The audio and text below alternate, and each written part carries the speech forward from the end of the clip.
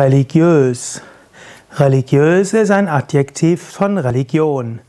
Wer sein Leben auf die Religion ausrichtet, der ist ein religiöser Mensch. Und das, was mit Religion zu tun hat, ist auch etwas Religiöses. Zum Beispiel kann man sprechen von religiösen Büchern, man kann sprechen von einer religiösen Philosophie und manchmal kann man auch sagen, wenn jemand übertrieben an etwas glaubt und es besonders ja, beachtet, dass er mit religiöser Genauigkeit etwas macht oder dass er wie von einem religiösen Glauben beseelt etwas tut. Religion kommt eigentlich von religare, das heißt wiederverbinden oder auch die Einheit wiederfinden, zurück zur Einheit zu kommen. Auch Yoga heißt übrigens Einheit und Verbindung. Yoga ist keine Religion, obgleich es auch religiösen Yoga geben kann.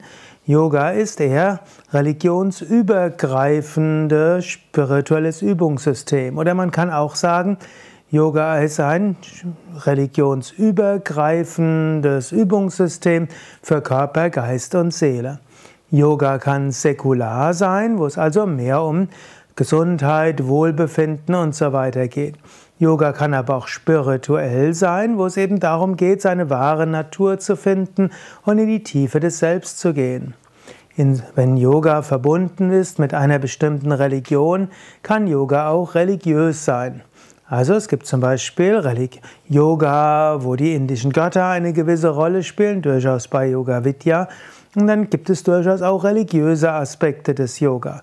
Das braucht dich jetzt nicht zu stören oder zu ängstigen, sondern so ähnlich wie dich ja auch nicht stört, wenn du hörst, dass es buddhistische Meditation gibt und auch Buddhismus ist letztlich eine religiöse Tradition, zählt ja auch zu den Weltreligionen.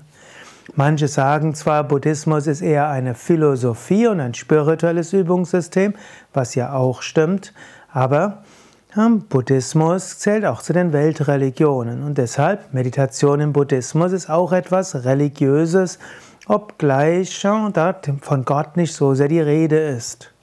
In diesem Sinne ist manchmal die Frage, wie religiös ist Yoga?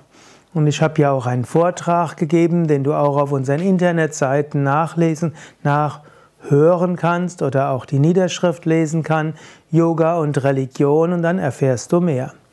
Also, wie gesagt, Yoga ist typischerweise säkular, aber zum Beispiel bei Yoga Vidya ist Yoga auch spirituell und die Ausdrücke spirituell und religiös sind gar nicht so unterschiedlich vom Wortgebrauch.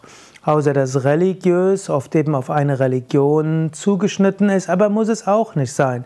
Man kann zum Beispiel ein religiöser Mensch sein, ohne deshalb zu einer Religion dazuzugehören. Man glaubt an Gott und baut sich seine eigene Religion zusammen.